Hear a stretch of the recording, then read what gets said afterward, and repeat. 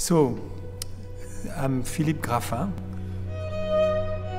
and as a violinist, I got very fond of the music written by Georges Enesco. A few years ago, I had the chance to play his uh, octet, and for years I've been wanting to spend a few uh, days and rehearsals with, with close friends and get to the bottom of how I feel about this piece and try to play it. Today, I feel uh, grateful that this project is happening. Uh, this, uh, I feel very blessed by that, actually.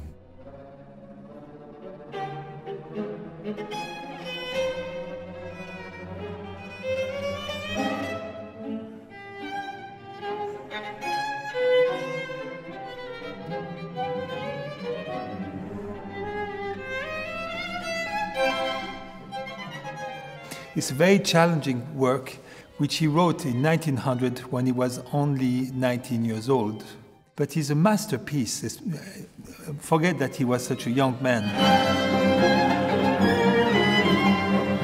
It ends with this crazy waltz. So I thought how to make a project with this octet by Enesco, and then I thought, well, what would be really great is to be able to play La Valse by Ravel.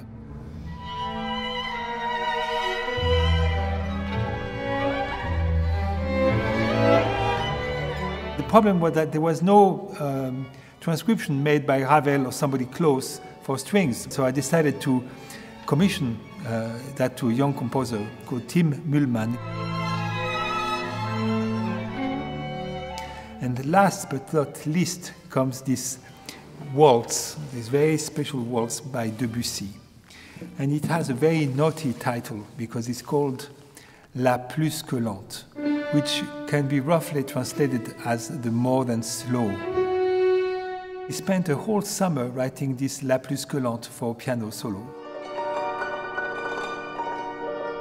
He transcribed it with cymbalum for a small ensemble, an ensemble that you would see for the gypsies, which is only for gypsies from Paris. And uh, it's amazing that it exists in that version.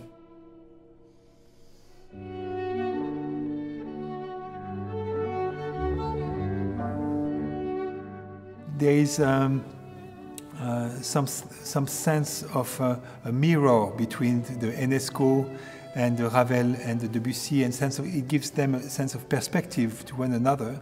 And um, I think this is in this time of pandemic when we cannot really uh, access the audience in the same way we wish. Uh, it was wonderful to get together and play music together and make something that eventually is going to be heard, and I hope you enjoy it.